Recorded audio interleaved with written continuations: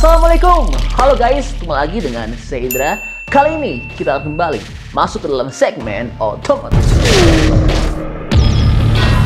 Iya, Honda HR-V bakal ganti nama seperti namanya di Jepang. Tahun depan, Honda akan banyak memberikan kejutan bagi pasar Indonesia. Salah satu yang terendus adalah kehadiran all new HR-V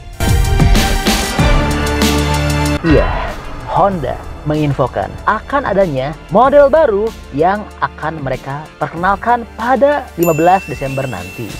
Dan dugaan kuat adalah all new HRV.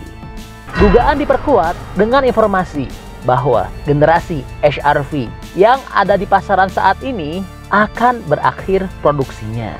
Karena Februari 2022, generasi terbaru akan muncul.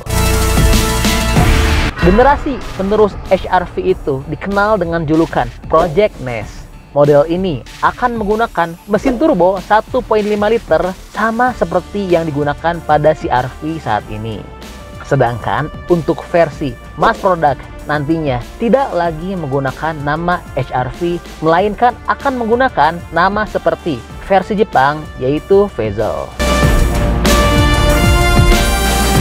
Ya, seperti yang telah disampaikan, nama Vezel merupakan nama lain Honda HR-V yang dipasarkan untuk pasar domestik Jepang selain juga untuk pasar China. Oke, jadi itu adalah info update untuk Honda HR-V yang sebentar lagi akan segera rilis dan akan berganti nama menjadi Vezel.